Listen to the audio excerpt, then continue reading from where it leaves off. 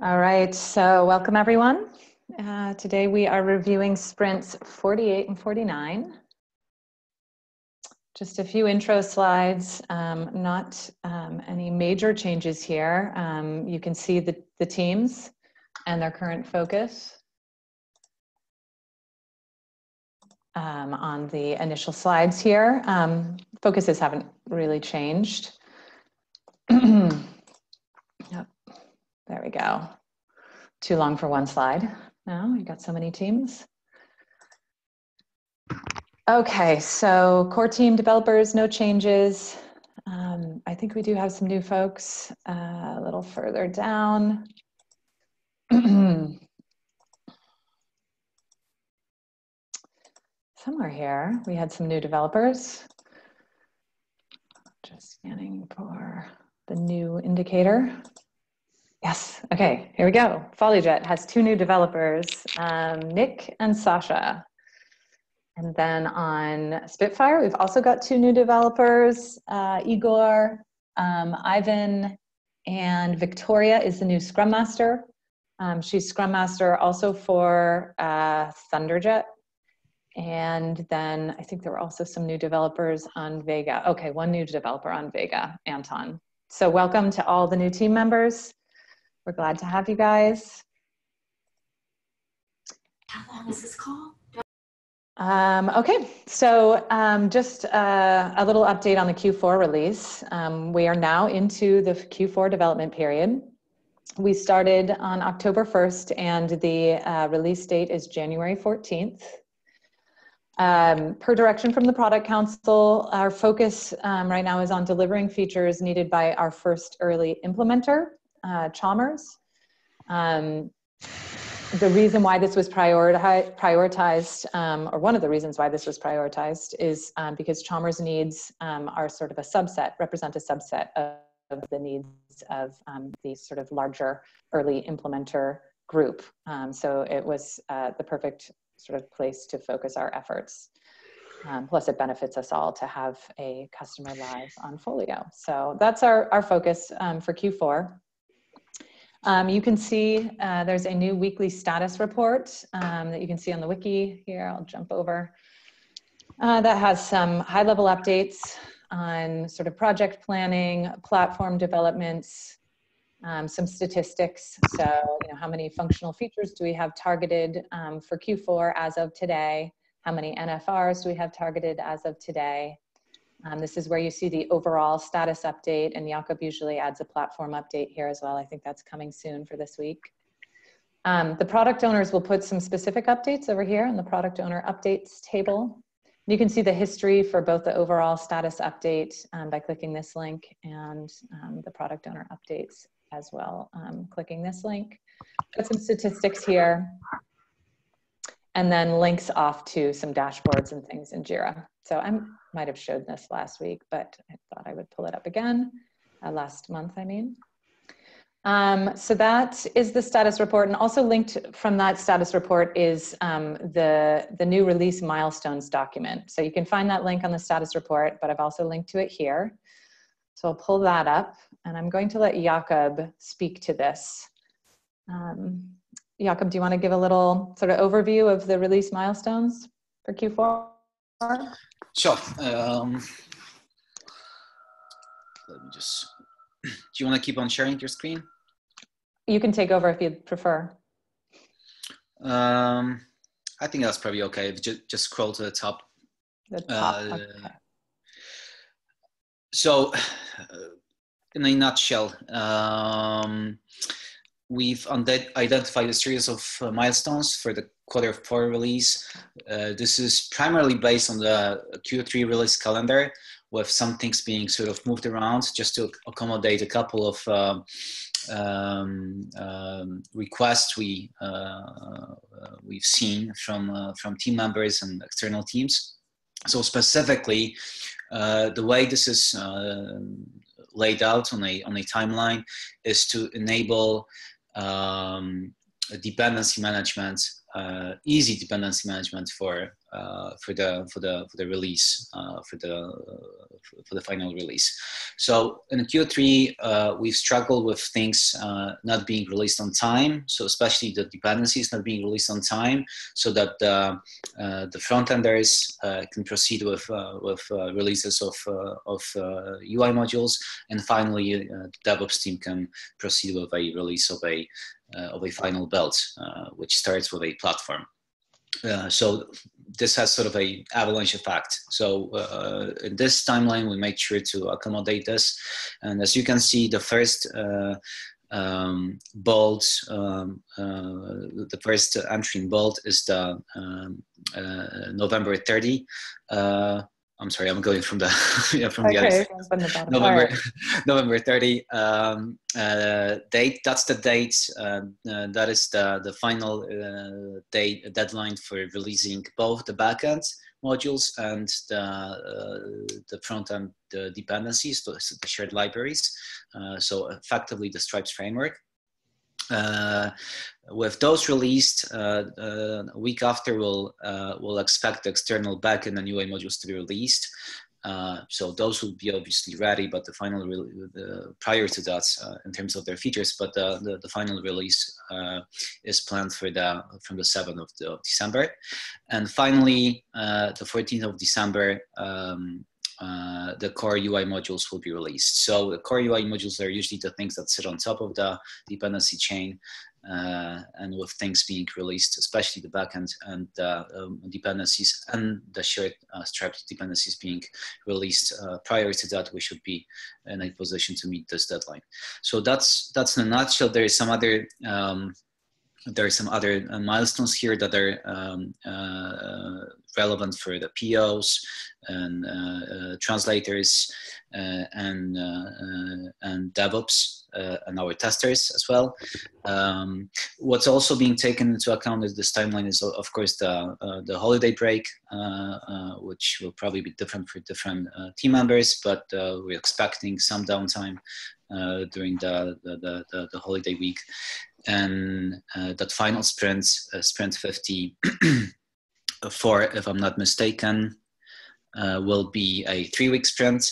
Uh, and that's going to be the hardening sprint within uh, during which we will uh, focus on testing the release and bug fixing. So we'll leave a bit more time compared to the previous release for releasing bug fix releases. Um, and I think that's it in the nutshell. I should also say that uh, uh, this timeline is uh, a bit more relaxed compared to the uh, the timeline for the Q3 release. I think uh, if we take away the the holiday week, we're actually uh, we have designated one more week, one additional week for this release. Um, so it should be fairly relaxed, uh, especially that a lot of uh, procedures uh, have been verified with Q3. So uh, uh, so we'll be uh, we should be in the um, in a better position to follow them for the for the Q4 release. And I think we've tested also the process quite extensively in Q3. Um, plus, we have the additional week, so so it should be it should be much more relaxed. And I think that's By relaxed, what I have. You mean relaxed for the, oh, the, the yes, release? Sorry, the, the release be more clear. Yeah, uh, meaning uh, for uh, people involved in making particular releases of the modules. I see. Be the front enders and the back enders, but also uh, the DevOps guys that should have uh, uh, should have more time to to finalize the the release and set up the spin up the the environments. Okay, yeah, that makes sense. And so just to be clear, like where it says um, Stripes framework is released, base uh, backend modules are released, these are essentially the feature freeze dates for backend modules and Stripes framework? Yes, you, you okay. could, yeah, you could, yeah, that, that's, yeah, that's probably how it should be called, yes. But it's okay like this as long as people know. Um, yeah, and I think part of also why it's a little more relaxed, I guess, for the actual release um, creation is that we've we've yeah we've put feature freeze for um, at least for the backend modules I think is a week earlier than it was last time so Correct. that gives us a bit of extra time as well. Okay, any questions on this? All right, cool. Thanks, Jakub. Thank you, Kate. Uh, okay. Um, definition of done, this is just sort of a reminder. Nothing has changed here um, for this sprint review. We're still, in general, um, showing um, only uh, stories and bugs that have passed QA. Um, we will be adding some new, I think before the next sprint review, there'll probably be some additional um, sort of definition of done criteria being added, but uh, this is just a carryover from last. Um, and then we have um, the sprint highlights. So the product owners from all of the various teams have um, entered the um, highlights, so what they've been working on um, for the past couple of sprints. Not gonna go through these in detail um, because we will be demoing much of this. If there's time at the end, maybe the POs can speak to some of the work that's been happening. last time we actually had some extra time. So we'll see if that happens again. So these are the highlights. And that brings us to, wow, a lot of teams now. Okay, so that brings us to the demos. Um, okay, so um, we have Folijet up first with Victor and Alexi. Are you guys on? Uh, yep, uh, it's Victor. Uh, I'm going to I'm ready actually. Yeah. Okay, I'll stop I... sharing. Yes, you can go for it. Okay, thank you.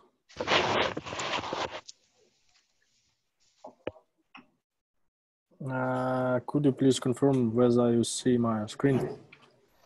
I do see your screen. Great.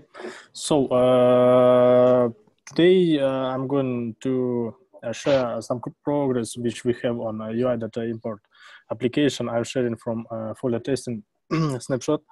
Uh, and uh, in scope of uh, uh, this feature, yeah, the progress which we have uh, so far during this sprint demo is we created the new application for this stuff and set up um, some UI logic, yes, UI components for the future yes it's like the basement for the future development. But uh, uh, as you can see now we have um, according to requirements three panes yeah we're going to have jobs works and import. And uh, this is how import uh, uh, will end up looking like uh, without interaction yet. But this is just ui as i said. And uh, yes, the last feature, the last uh, thing here is we are going to drag and drop here files and I'll choose it uh, manually. And uh, about jobs tab, uh, this is uh, how job items, individual jobs, job items are going to look like. here you can see three states. Um, for uh, preview is ready component for preview is preparing for uh, preparing yeah, in progress and uh, when the individual job is running. And this is pretty much all for now. Any questions Can I also just mention um, this is Anne Marie and PO for data import. The the third pane, the drag and drop area, um, this is the start of a component that's going to be used for file uploading and we are building it as part of data import to start with but we met with um, Khalilah and Stephanie. Um, th- there's definite need for this across all of Folio. Um, for us, this will be importing files that we're then going to do stuff with as far as um, creating or updating records in, in inventory and acquisitions. For other areas, it may just be a matter of um, uploading a file that you want to attach uh, an, uh, to an agreement or to a user or uh, a vendor. So uh, Stephanie already had done a lot of UI work on how the file upload should look. And so we've taken um, that work plus input from Filip, and we are going to build this as part of data import to start with. And then the intention is once that infrastructure is there and we're building it very flexibly, that then um, it can get turned into a, a more general stripes component that would be applicable across the rest of Folio as well. So kind of trying to take care of two things at once. Cool. And when you talk about the general stripes component, Anne-Marie, are you talking about um, drag and drop to import files or just drag and drop in general? So file upload, which would be drag and drop to import files or to do the choose files. And um, so we're going to build it the way we need it for, for data import, but we're, we're making it flexible as far as what the wording is going to be, how big the box can be, um, where you land after you let go of the mouse or after you hit select for the choose files. And then Stripes Force will take it and kind of refactor it into a more general component. Cool. So uh, that's it for me. Thanks, and Maria Via for clarifying things. Thanks, Victor. Thank you. Is Alexi going to demo as well? Or was that it for your team? Yes, hello. all. Hi. Uh, can you share my screen? Yes, please. Okay. Uh, do you see it? Yes, I do. Uh, okay, hello all. I'm a backend developer of Folijet team, and uh, now I'm mostly busy with um, upload functionality for a data import module. And uh, now I want to uh, share uh, our vision and um, design of uh, upload uh, functionality uh, from backend side and I want to describe and show to community some um, uh, schemas of it. And uh, first of all, uh, I want to start from the API what mod data import will provide for download upload file to backend and um, for supporting multiple file downloads, uh, we decided to uh, provide uh, two core entities for upload, its name upload definition and just a file entity. So first of all, uh, if you want to upload file you uh, and you drag and drop it on uh, UI area, you just need to create a upload definition and post it to backend. So there uh, we can see a, a, sequence diagram of this functionality and uh, for create upload definition and uh, import jobs, we just uh, create a request to backend and say it, uh, okay, we have uh, three files and we want to upload it to our module. Uh, after it, um, our backend is create this definition for these files and return to UI um, UIDs for creating, uh, uh, uploading jobs for each file. And uh, after it, um, we can upload one by one our files to uh, backend and also this mechanism provide um, uh, showing a progress bar for um, loading files and uh, why we need this uh, structure of upload uh, definition and uh, the file definition because uh, uh, we can in future after loading of files, we can add, uh, will add file or delete a loaded file. And after this, we can say, okay, we are ready to process um, our job with uh, this list of files. Uh, and um, there are uh, no uh, UI visualization for it, but uh, it's on progress. And backend for this functionality uh, um, of upload files to in data import module is uh, also in progress and uh, I think we will be ready to show it uh, next uh, time. So that's all from my side. Uh, if you have some technical questions, you can ask me in Slack or now. Thank you. Thank you. Are there any questions?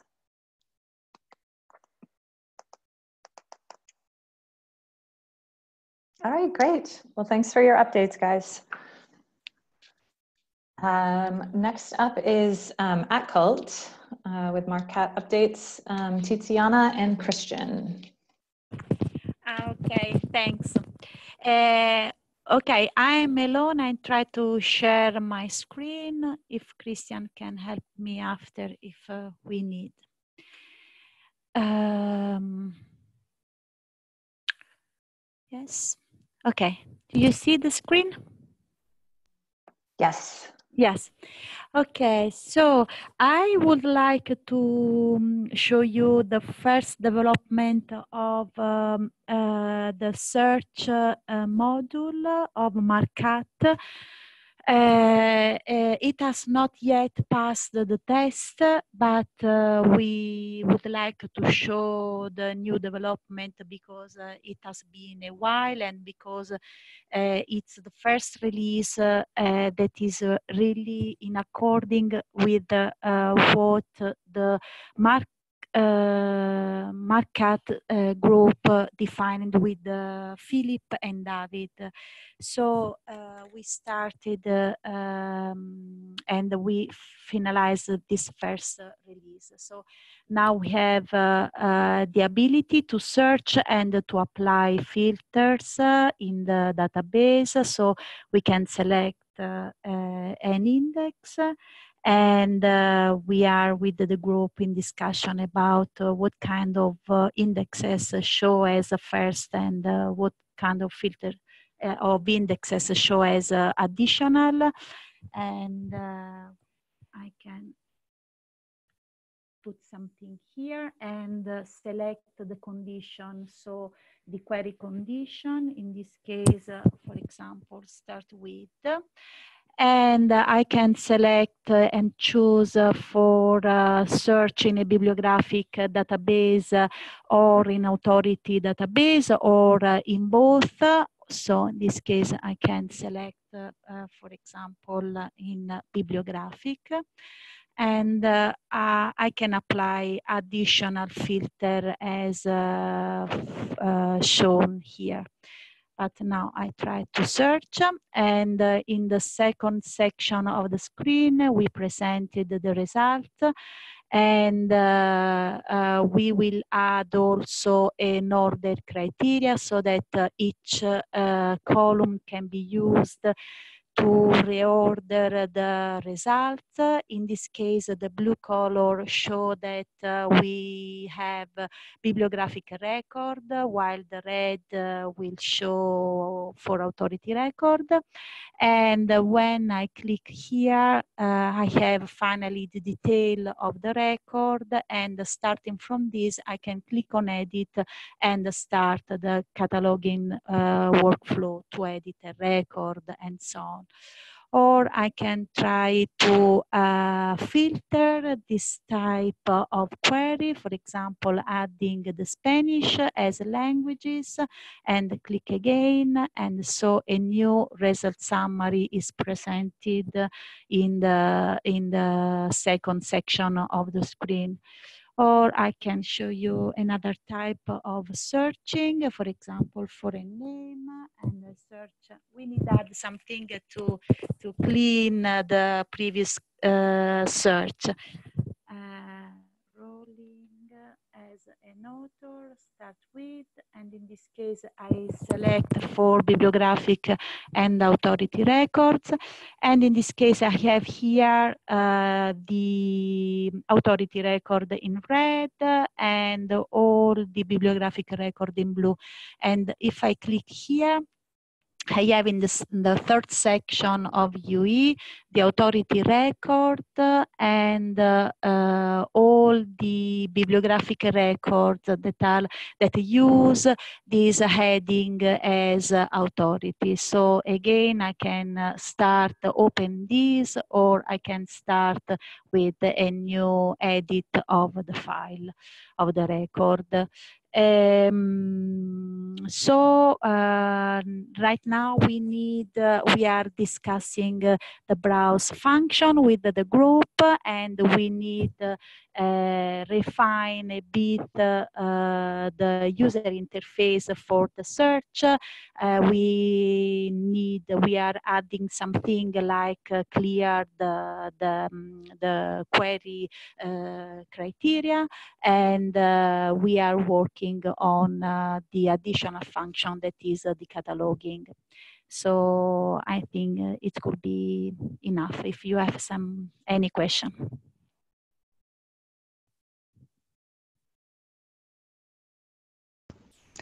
I'll just say I'm delighted to see MARCcat starting to come to life. So it'll be great when we can start seeing it in um, in testing and snapshot and snapshot stable too. Yes, in fact, now uh, we just, um, I think within this week, we can uh, we can put available for all people uh, the version so that uh, you can start testing, and so we can close at the end of the the test this first uh, section, this first step of the project. Tiziana, maybe try and. Um, and uh, minimize the screen a little bit because uh, what we see here is um, uh, the, the rows are a little not that uh, elegant looking as it was yesterday. Uh, so if you zoom out a little yeah. bit, then uh, people can see here how great it's looking. Yeah, in fact, as we told uh, yesterday, this is just the first release, but we need probably um, uh, harmonize the, the sections uh, and uh, make possible, for example, that we can enlarge or reduce uh, something. So I think that is uh, exactly what, yeah. It's just the screen size. Uh, I think if you minimize it a little bit, then people can see because it, it was looking um, um, Can you do like control control minus on your keyboard? Yes. yes. Do anything? That's possible. Yeah, yeah, yes.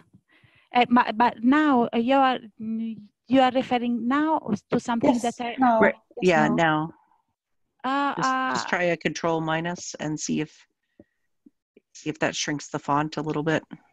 Uh, I don't know. Uh, mm, That's okay. That's okay. Yeah, I don't know now because he's uh, he's the first uh, the the mm, my first test here so i'm not so able to do nothing in addition to this. Don't worry i'm don't sorry. Worry. no worries. We can imagine. It looks great tiziana. This looks really good. It's so nice to see this. And one thing that's a little bit related i think i think you can kind of see it on her screen. Um, uh, one thing that that uh, philip brings up a lot is is that the center pane of search results and um, the challenges when you end up with a lot of columns and the horizontal scroll mm. that sometimes shows up. So there's been some discussions in the last couple of weeks about if you were able to resize these panes. Um, to get rid of the horizontal scroll, being able to go from this kind of table column row and column format to more of a mm. card type format as the center pane gets smaller yeah. or as you get more data in uh, more columns in the center pane. So that's something that um, we're looking at a lot right now and uh, something again that data import's going to need. So, so we've been doing some analysis to try to figure out um, what it would take to make this uh, table format a more responsive design. Yeah. And we'll be talking about that with with Filip and with Khalilah for Stripes Force. Yeah. Yes, in fact, also the, the, the ability to choose some columns or not that we can define uh, in the configuration model so that uh, each library can decide what what type of information are important to show as a search result. So I think that uh, are all uh, tricks and uh, ways to make uh, the user interface more uh, user friendly and uh, useful in any case. Yes, exactly. And we've kind of had this center pane search result for a while, so it's yeah. it's time to be circling back and making it better. Yeah, Yes, because uh, in right now our first goal was uh, to be sure that the requirements, generally speaking, uh, fit with the the, the long list of requirements that, that the group has expressed, right, correctly, of course. So now we can work on this addition and improvement so that the, also the user interface can become more useful and uh, uh, user friendly, yes. Great. That's a great start. Thank you for sharing. Okay, thank you to you. Um, okay, so uh, core team is up next with Aditya to start out. Thanks, Kate. Um, sharing. Can you see my screen? Yes. Okay. Um, so I have a couple of stories to demo here. Um, the first one is to do with the request app. Uh, it's about linking the request uh, linking the request record to the request queue. So the purpose of this story is primarily to enable the users to access an item's request queue from their request record. So for example, let's select uh, the girl on the train here. As you can see, it has two requests against it. Um, one over here and one over here. And so we are, we've added this new field here called position in queue that uh, represents the number of requests open against that uh, item. And once you click on this link here, view requests in queue, takes you to the request app, just basically pre-filtered by the barcode and the two statuses here, open awaiting pickup and open not yet fill. And similarly, we have added this here as well under the item info the request on item here represents the number of requests and you click on that takes you to the same screen and on the edit pane as well. So the position in queue and view requests and the requests on item. Um, and that's with the first one. Second story is regarding moving the service point to location relationship to the locations record. Uh, so previously we had the ability to add locations to a service point record, but since every location requires at least one service point, made sense to move that logic to the location record than the service point. So previously on the service points new pane, we had the add location functionality, but that's now been moved to locations wherein we get to add the service point um, and as you can see here, this is the new uh, functionality where you have the service point, which is a required field. And every lo uh, location also requires one primary service point associated with it. So the radio button here um, basically represents the primary service point. And the list of, so you have this drop down here with the default being the select service point and the list of service points listed here so this list is nothing but um, what you have here. And uh, when you select one of these, so there's a bunch of edge cases that we handle here. Uh, you need to have at least one service point. So when you delete all of them, you get this error message and the form won't go through until you select one. And also when you select a bunch of service points and you delete and you for example you delete the primary one the last existing one would by default become the primary service point. And also to prevent the user from selecting the same service point multiple times we omit the option that's been previously selected. So this dropdown doesn't have served as one. So you similarly see you won't have the ones that are already selected. And ultimately if you run out of options we disable the add service button altogether so that you don't get to just leave empty service points fields open. And uh, so for example let's create a location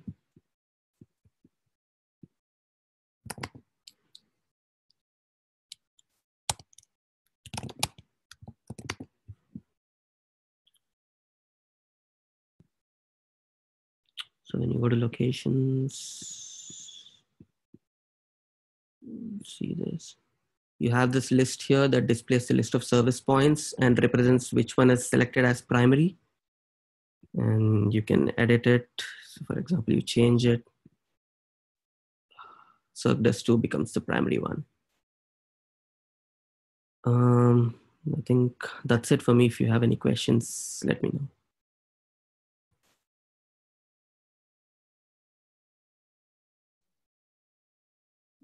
Looks good, Aditya. I've been playing around with it. It works really well. Thanks. Thank you. Uh, just a second. Okay, next up from the core team is Michal. Um, hi, Kate. Hi, everyone. Um, can you can you see my screen here? Yes, we can. Great. So I also have just couple couple items here to show you uh, today. The, the first one will be this uh, new ability to to uh, print hold slips at uh, at check-in. Um, so as you can see, I I already have a have an item here which was previously checked out by a different uh, patron, um, and we are we also have a uh, hold request here, here, which is open and not yet filled. So let me just maybe click the, um, grab this uh, barcode and go to the check-in. Uh, and now when I try to check in that item, it takes a little while here, but hopefully uh, you can see this new um, dialog here, which shows us some information about the um, about the, the given item and also this new um, print slip uh, checkbox, which would allow us, allow us to, to uh, print the print slip for this given, uh, this given item. So if I hit confirm here, um, since I'm not running this in the kiosk mode, I am presented with, uh, with this typical uh, Chrome um, dialog, printing di dialog, and you can see, let me see if I can zoom this in. And this is the, um, the slip for that particular um, item and request, which, which was uh, next in the queue, in the re request queue from the previous screen. Um, okay, let me just cancel that. So that's, that's it for printing hold slips. Um, another another thing here, which which we worked on, um, is also related to locations. You probably noticed this from Aditya's screen, but we now have this this ability to um, filter by different um, um, items, different things here in order to get to to the specific list of locations. So we are able to search by institution, campus, and uh, library, and then the list here at the bottom is is just the list related to, to the items uh, we filtered by. Um, so that's that's the new addition here. Uh, another little thing we added recently is this ability to duplicate a given uh, location. So you can see that we have now this uh, option here to duplicate. If I hit that, I'm presented with the uh, pre-populated form with the uh, previous location I choose uh, from. And this is just a nice way to kind of um, create a new location based on the previous location. Uh, you can see that we, we have all those, um, all, all this data from the previous location already pre presented here. So um, yeah, that, that should be a little bit easier to create new locations now. And uh, I think that's it from me. So I'm not sure if anybody has any questions.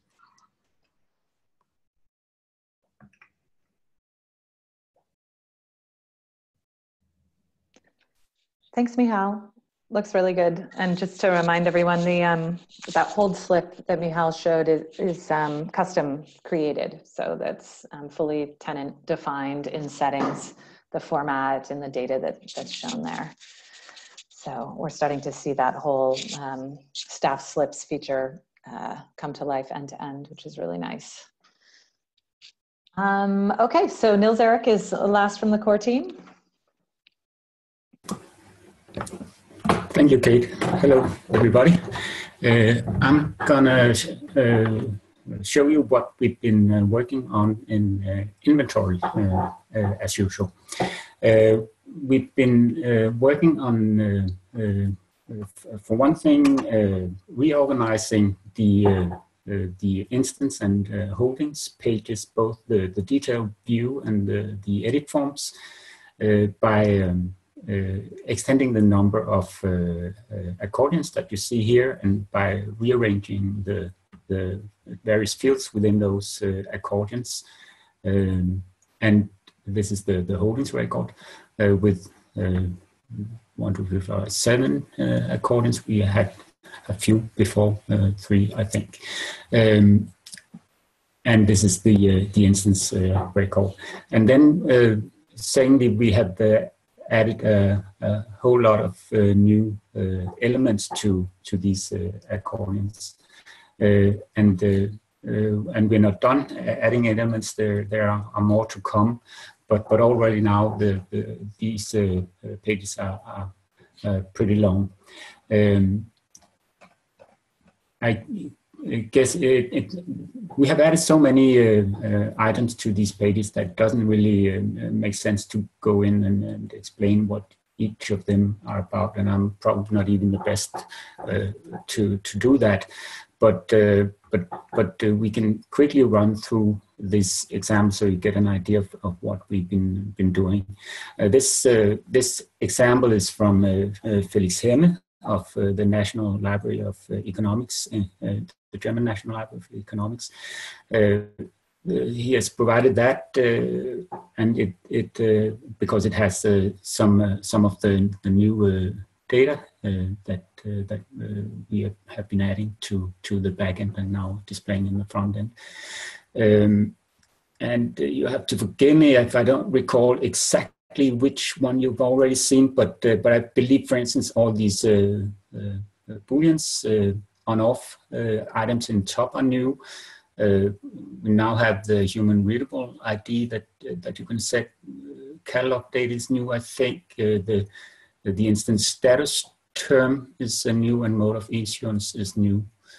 Uh, then we have added uh, index title, which is uh, supposed to be used for for sorting and uh, yeah for sorting uh, uh, where where the resource title itself is is not appropriate for it because for instance because it has insignificant words in in the beginning etc etc the series statements were already there, identifiers were already there, they've been moved to new accordions, uh, contributors was already there, addition, uh, descriptive data has been extended with the uh, with I think with publication frequency and publication range, and that's pretty much it. Uh, and then we have this uh, this element, the electronic access, uh, and this is uh, these are live examples from from Felix Hemme with with a URL and with the, a link text uh, and uh, uh, type describing the relationship to the resources to this from this instance to the resource that is linked to. Subject classifications and instance relationships we already uh, talked about before. And uh, it's uh, pretty much the same thing for, for the holdings record. That one was very small last time. Uh, so uh, that has uh, grown considerably as well. Um, again, we have here the opportunity to suppress it from discovery. It also has a human readable ID. you can add one or more former IDs if you want to be able to track it back to the system that it originated from. Uh, I think sharing order, sharing title, copy number, call number type, call number prefix, and call number suffix are all new. Uh, the only uh, one we already knew, of course, was uh, call number. Uh, number of items, I believe that's new. We already had holding statements. Uh, we're going to change that so that you can add a note to it. that's a, a, a what we call a breaking change. So it's uh, something that we sort of uh, put on hold and I find a good time to make those breaking changes so that we can uh, update all uh, uh, dependent uh, modules back end and front end when we do these breaking changes. So that's something we do with care, but but all the other new holding statements are just additions non-mandatory additions. So they, they're not breaking, so they're, here now. Uh, and, and you can add uh, as many of uh, these holding statements for supplements or for indexes as, uh, as you want. Then we have a new note section uh, with the format, acquisition format and method and the receipt status. Uh, and then uh, the ability to uh, add Uh, any number of uh, notes that you want, uh, give, each, give each one a, a certain type. so there are these types to choose from and uh, and then you can enter the node and you can say if it should be uh, only be readable by by staff and then again on on the uh, holdings level you have the electronic access settings so so they can in other words exist on both the instance and, and holding level and as you can see there is an empty um, accordion down here, and that's uh, and, and, as well as here, that's uh, that's the uh, work in progress. We have receiving history in backend. We need to uh, update it here in the front end, and then we have the acquisitions accordion where there will be coordination with the orders module. we will probably be mashing up data from inventory and orders uh, in this uh, accordion. Anyway, it will uh, display data that somehow comes from from an order as well as data in in inventory. So we need to um, and make that make that linkage work. So um, we will uh, see more elements uh, to it, but this is uh, how far we got with filling up all our new accordions in, in inventory for, for these two entity types so far and then we will continue with item, which will also be much longer. So that was it from me. Thank you.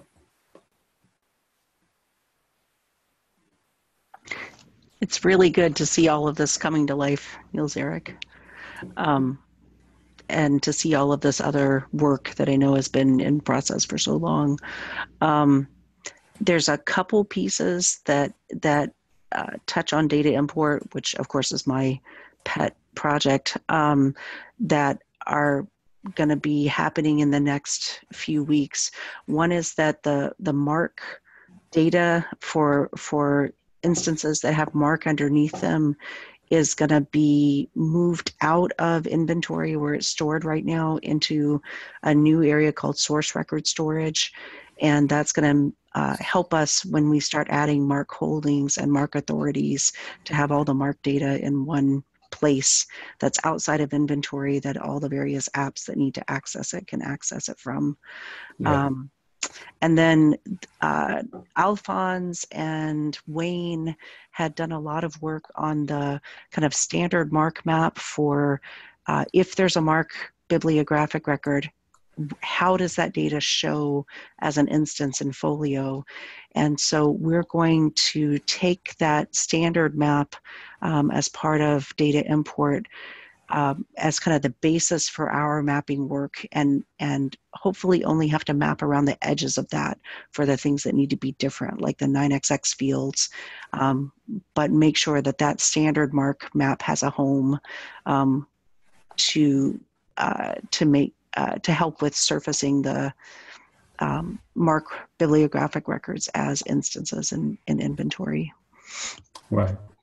That's uh, good to know. I think uh, both those uh, lines of development have uh, uh, not have a, a, little impact on inventory itself, but but sure, it, it's good to to know. Uh, and and uh, and inventory, of course, have to pick up the uh, the MARC the MARC source record from from another place than it, it does right now.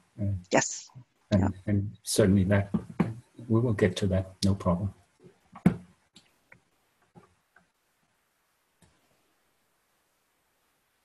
looks really nice. It's actually a ton of progress since I've seen it last, and it looks so much better. Just the layout, it's just, it's nice. Um, all right, if there aren't any other questions, then we can move on to the next demo, um, which is um, Carol from EBSCO, next on the list. Okay. Um,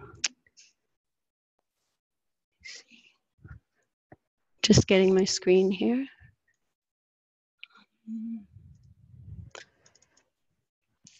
Okay, can you all see my screen? Yes, we can. Okay, so I am going to be demoing some work that we've done since the last search to enhance search capabilities is available from the Codex search, um, specifically for the knowledge base source. Um, so this is actually the ticket that I worked on. Um, and specifically, we're adding support that's available in the Holdings IQ API for advanced search. Um, so there's phrase support, Boolean support, and wildcard uh, character support, as well as nested search. So if we go over to the Codex Search app, um, I can perform, um, I'm going to start with the Boolean search as an example. So I can go in here and search for, say, journals and or magazines, and I'll get results containing journals or magazines within um, the title. Um, I can also do a search for um, journals and magazines.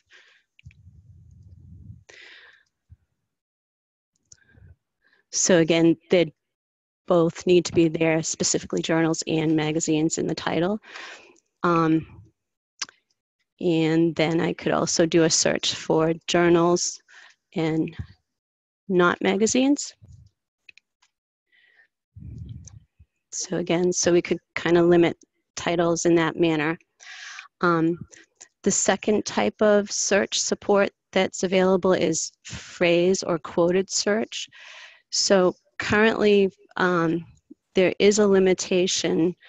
Um, what would what we'd like to be able to do is search for great something like great gatsby as quoted. And this would be like an exact phrase search with the terms in the specific order. Um, we did run into some issues when we were testing with the ui in terms of the quotes being preserved um, when they do get passed on to the mod codex ekb module. So at this point this functionality is is not functioning properly but it's available from the back end. And um, so if we were to support if the quoting were corrected we would be able to support that. But as a as a workaround we could search for great and gatsby to get oops help if I spell right. also help if I spell right here. Um, so getting terms that contain both great and gaps, Gatsby. Um, the next type of search is a wildcard search, wherein that we can append an asterisk to the end of the search term. So for example, here we can search for um, um, compute and engineering. So we'll get terms like computer, um, computational.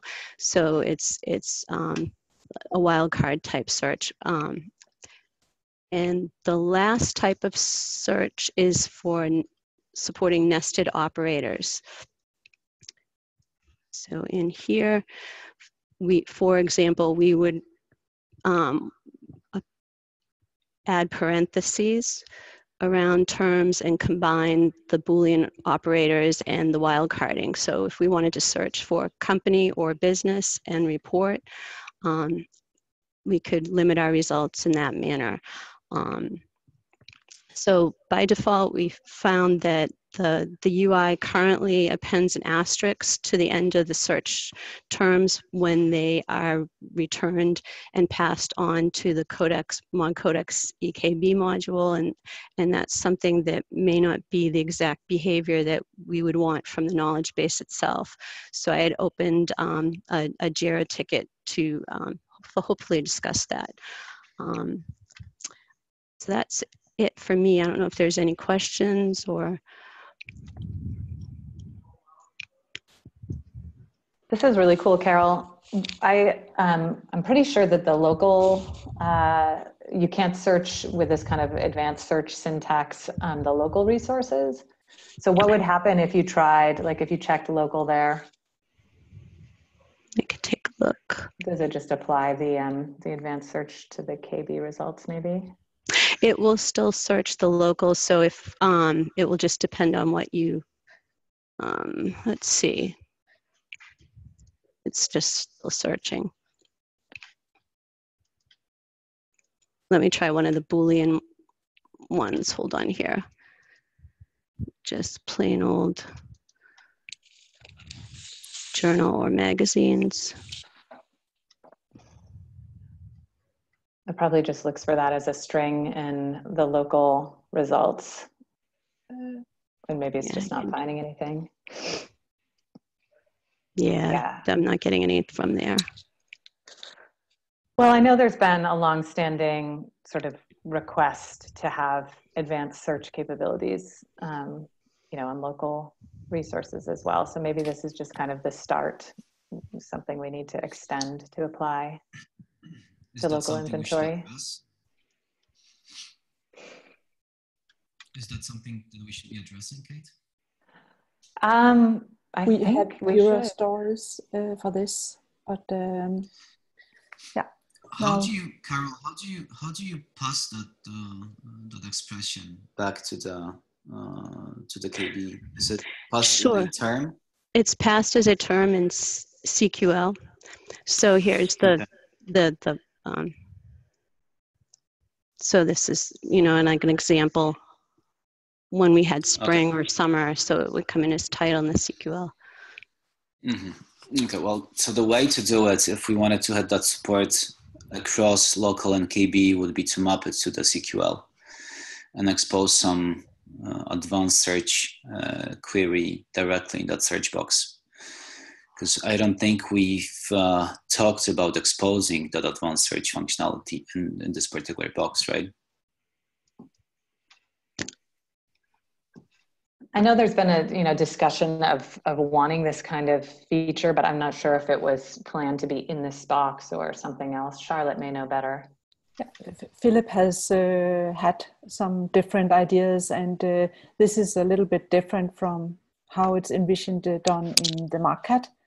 Uh, Yeah, but I, I'd say for for because I know that uh, the possibility to search on Boolean uh, use that uh, Boolean operators is uh, one of uh, Chalmers' um, requirements, and this would work.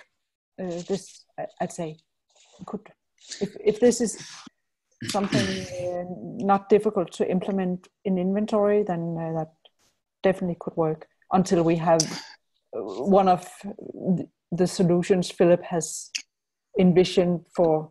Um, When you say long-term. when you say this, Charlotte, you mean exposing the, the Boolean query directly in this in this input box. yes, if, if it works in Codex, it could also work in inventory for Q1. Mhm. Okay. I think we probably need to regroup and, and, and think about how we want that support to work because uh, this, as this is done for, uh, for the KB, uh, this would have to be changed. This would have to be modified uh, to be able to, to support that across the local and KB. Because whatever you put in that box is a transparent term to the, to the system that is being passed on. So, uh, to give you an example, you know, the existing system when he when when when the system sees say create journals or magazines, that's what it considers. It considers that a, as a verbatim term. So we this effectively changes that behavior, and I don't think we uh, we would just change it for inventory like that. We would we would need to expand what this box is meant to do. So from the from the user side, whenever I see a search and filter on this left side, it, it seems to me like I would want them to behave the same way when I have a, Exactly. a search box like Exactly. this. So whatever we end up doing, it would be really nice to know that um, whether it's this or some other standard way of doing it that that when I see a box like this wherever I am in Folio, I know if I put in a capital OR or a capital AND or parentheses that it's going to work the same way. Yeah, I mean that's exactly right, Maria, and I think this opens a whole can of worms because you know I would also expect the filters to be aligned with whatever I put in my in my advanced search, which which it well it isn't the case right now for this example, right? So I, I think we would have to rethink how this is done. I mean, this approach here obviously makes it work with the KB by just passing it uh, down as a term. Uh, this is not the kind of support we, we can address for the local. We would have to have real support for it. It's definitely a good way of moving the conversation forward, though, and especially Mhm. if Chalmers needs some sort of Boolean. Well, I frankly find this feature really problematic because it changes the existing behavior. Actually, uh,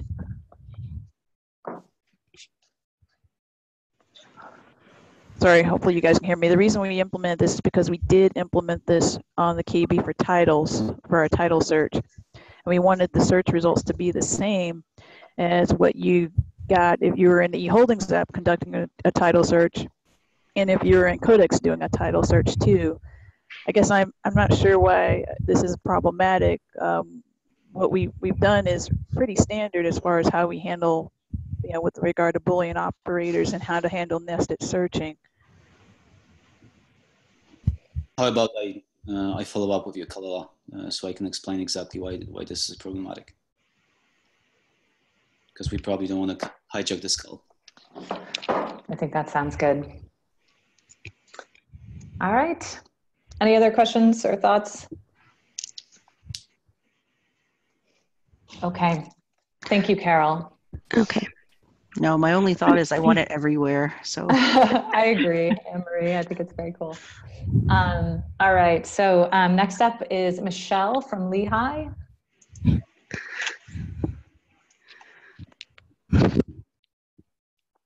Hi, I'm just sharing my screen.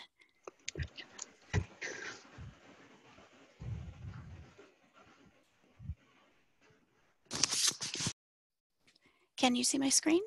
We can. Awesome. Okay. So before I do um, the demo, I just want to mention that um, what you're about to see is still in development. It's not officially tested or done. Um, um, also, before I do the demo, I want to just, I'm, I'm working on the NCIP module, also, I should say.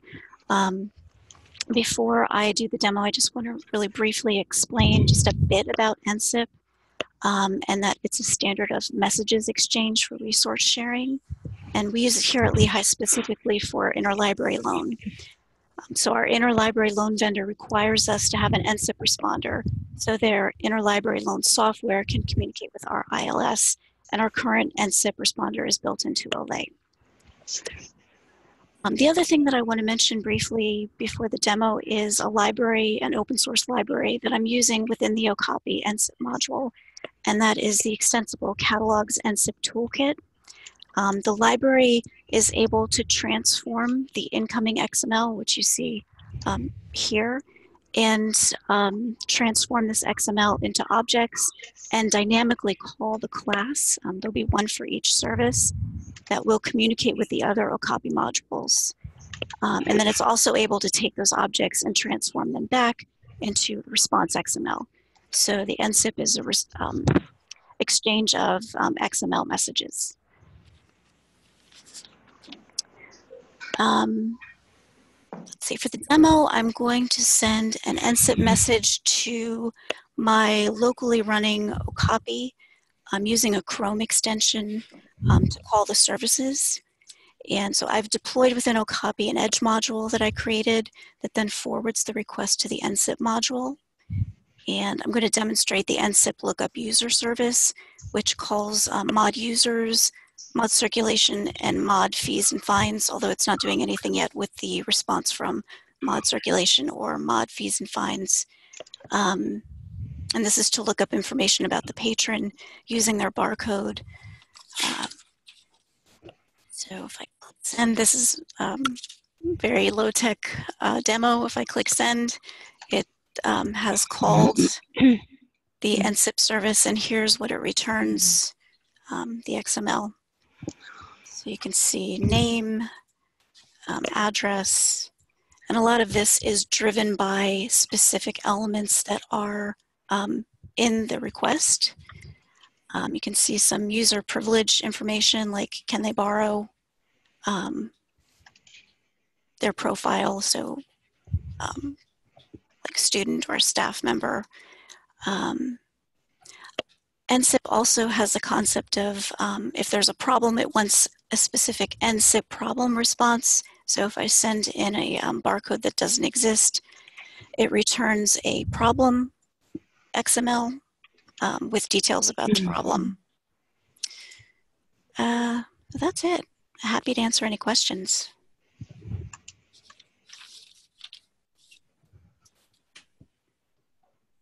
This is cool, Michelle. It seems like you've been working pretty independently on this. I wonder if you've run into any challenges as you've tried to, to implement the NCIP um, protocol. Yeah, there's definitely been a learning curve, and um, at some point, some feedback. At some point, I'd really like to have a. Is that oh, me? I, I don't know. Let me. I'm going to mute everyone except you. Participants, and I mute you first. Uh, mute all.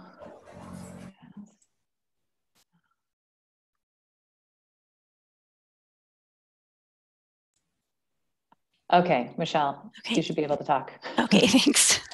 Um, so it's definitely been challenging. Um, at some point, I'd like to have a code review with someone um, just to, you know, walk through what I've done and to possibly spot any things that could be problematic. Um, Yeah, I'm sure um, probably Jakub could arrange something. Um, Yeah. That'd be a good place to Sure, of start.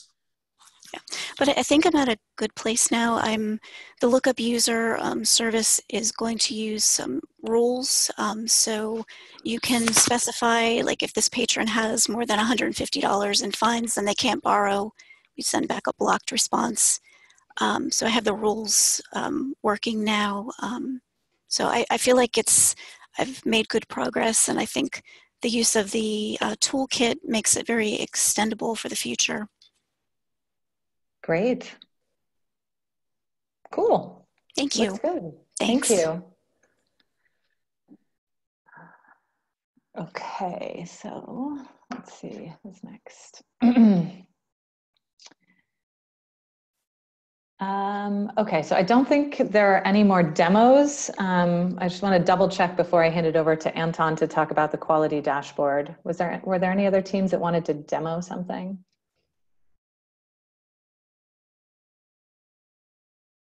All right, then Anton, it's all you with the quality updates. And Michelle, I think you have to stop Yeah. stop sharing. You Um, can take over.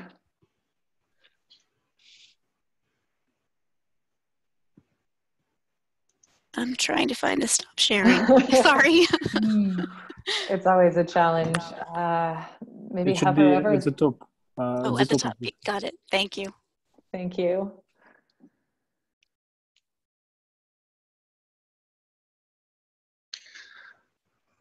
Well, hello everyone. We have about 63 participants on the call.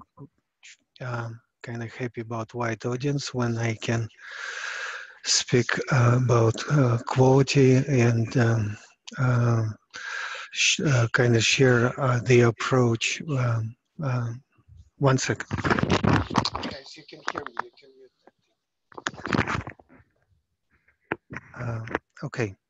So let's um, uh, let me walk you through the um, quality dashboard. This uh, this page is being updated at the end of each sprint, and it has certain sections that are kind of designed to drive uh, qual overall quality of the product. So the first section is UI automated testing. which uh, we didn't have a lot and we're just making progress. But just to show you the proof of it, uh, everyone, so this page and this uh, static code analysis tool is open to everybody. You just can go to sonarcloud.io uh, organization folio.org and you can see code coverage on all the modules that we have. We made a good progress that we are tracking now 91 project uh, that kind of all the building blocks of the folio solution. So that being said, if you filter on UI projects, we have a little bit different picture compared to the backend.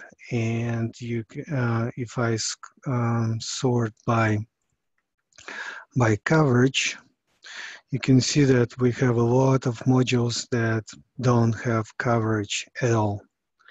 And only uh, so e-holdings was module that was, um, um, uh, well, it was developed in parallel with tests, so it, it has a good code coverage. My profile is all same case. The UI check-in is our um, sample module that uh, will be used, um, uh, that can, can be used as a reference how to build UI tests. So um, but this is kind of the current picture with the uh, with our UI testing that we don't have a lot of code coverage. So as a result, you can expect a lot of bugs sifting through uh, during the integration stage. Uh, now let me switch to stripes. Um, so stripes, this is uh, obviously base library for our UI where we uh, we do have coverage and we keep growing it. So I'm reporting on this coverage in each sprint.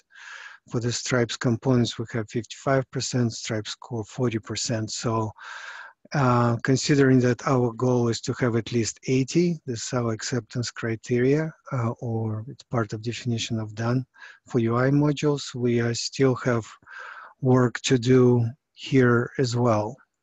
So, um, finally jumping back to the dashboard. So this is what the UI automated testing um, section is. So for this for this sprint, we finally got UI check-in into the reporting part and reporting percent. We grow the coverage for the stripes core. And here I highlight um, certain uh, certain tasks that we're working on uh, to um, to improve UI uh, testing. So uh, we practically done with implementing big tests uh, for enabling uh, teams to write big tests, unit tests for UI. Uh, all the infrastructure work has been complete. It should be very easy to enable those tests. So the only thing is uh, remaining is documentation. And when documentation is done, then teams can follow documentation and start building UI UI unit tests, which we're gonna track and celebrate the uh, coverage uh, that coverage has been achieved, you know, in the in the SonarQube. So the other big task that we are working on is uh, uh enable Pact consumer-driven tests.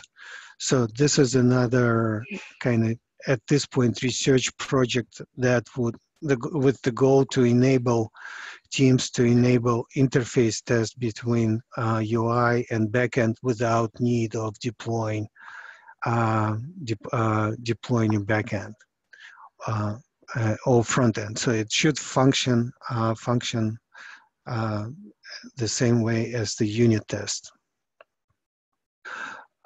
one second, close this. so that's that's what's going on with the UI automated testing. So performance tests. So um, by the way, uh, the way this page is designed, you can just jump jump in and read the top section. And if you uh, don't want to go in de into details, that should be enough for you to get updates on what's going on. If you want more details, you can jump to um, to the ne ne next section down. So status, in, in terms of status, the unhappy phase, it's overall condition of the of this area of testing. So you just saw that we don't have a lot of coverage on UI modules, therefore the phase is unhappy. And the trend is uh, positive because we are making progress in uh, uh, you know that progress is listed here uh, in the notes, but we do make progress. Therefore, the trend is up, but overall status is still uh, still kind of red. Same thing uh, applies to the performance testing. So we do have a, a performance test uh, job in uh, Jenkins. It's uh, in automation section uh, folio perf test.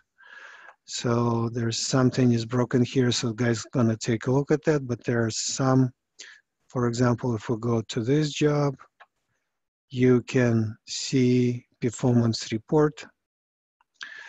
Uh, and you can see for each API what performance is. So it's fairly straightforward test that is just testing individual APIs so it doesn't try to resemble the real system behavior. But um, that being said, we are, I think, bit far from talking about real system behavior because as of right now, we have uh, 24 APIs that ever, on average slower than 10 seconds. Last sprint, we had 34 APIs that were slower than 10 seconds. And considering that our acceptance criteria that it should be two seconds, uh, we are way, way, way far from achieving that objective. So, but I'm just trying to take it in steps and uh, right now just uh, taking results of a test and listing APIs in the sorting them by average response time, slowest first here so that you guys can see what's going on and kind of react and uh, kind of pick what APIs you want uh, you want to improve or see if your APIs are not not performing. So basically the idea at this point is just to service surface that. We do have a serious performance problems and we have to jump on them now and make priority of this performance improvement now. Because if Chalmers uh, University is going to try to go live sometime in February, uh, there will be no time to uh, to fix the problem. Because usually if you have performance problem, it's most likely architectural problem. So um, my overall assessment that we need to have a serious look at this issue right now and um, and I know that we're short on resources and, uh, and, every, uh, and it's not easy, but this is just a serious issue because when somebody's gonna try to check out a book and it will take them two minutes, they're just not gonna use the system. So that's what's going on with performance tests. Now, integration tests and CI/CD pipeline. That's the section here on the on the right. So, in this section, um, I usually highlight uh, process improvements or any DevOps improvements that we're trying to do to improve um, improve uh, in, uh, improve when the code gets checked in, what kind of code gets checked in, when it's being tested, how soon can we get the feedback uh, from the from the change. So up until recently, we were just sweeping all the changes from the tip of the master of all the modules and put, putting them into the uh, folio snapshot and uh, ho hoping that that system will work. And well, as we all uh, know and find out that that approach is very stressful and uh, it's it doesn't work well. So we need to change how things uh, how things should be done. So in that respect, there are two themes. So one theme is we do need an envi sandbox environments for dev teams where they can collaborate with the product owners so that product owners don't have to wait until the change gets into the Folio um, snapshot stable because by, by that time it's too late to give feedback that something is wrong. It should be given before it gets uh, anywhere close to the master commit. So it's a challenging issue because it's hard to, well, um, lots of problems need to be resolved to enable uh, such a system. Uh, we have a lot of teams and uh, they're not supposed to step on each other. So it's a hard problem to solve, but we're kind of trying to figure it out right now. The second one is uh, the release process itself. So we are so we did uh, there was one great thing uh, was done that we create uh, created the um, stripes framework so that to eliminate a lot of dependency problems when different developers were referring to different uh, were referencing different versions of stripes components so now you have to reference just one stripes framework, so you're not going to be referencing different stripes, um, uh, different versions of the same stripes component. And continuing the theme and continue the thinking behind that, we we like to kind of change how the release being uh, being made and instead of uh, testing and integrating into the snapshot we want to test against released versions. So we will have a build that integration uh, build that will have a list of known versions that has been released. Uh, not the latest one, but what was a team officially released. And if you, if you as a team ready to release ne next version of your component, you have to go through these steps and to, uh, to release your component and only then it will go uh, it will uh, go into the integration testing. And if integration testing fails then your component will be rolled back. And uh, so this process kind of gives us an ability to roll back component because when we're integrating all the multiple check-ins from the snapshots we can't roll back. We just have to solve it going forward by fixing the problem but now we should be able to, if your component fails integration test, roll it back and um, try it again when when the fixes are um, um made. So it's gonna get a snapshot system or we come up with a different name for that system, but integration tests are more stable and that system should be more stable. So all the tickets that you see here, most of them related to that um, uh, related to that to those efforts. And now to move to the escape defects, there's another link that you can click that shows overall what happens with uh, our defects across the projects. We are keep opening up the gap of unresolved defects. You can see it, see it here. So we are somewhere around um, 70, 70 unresolved defects um, for the past six months.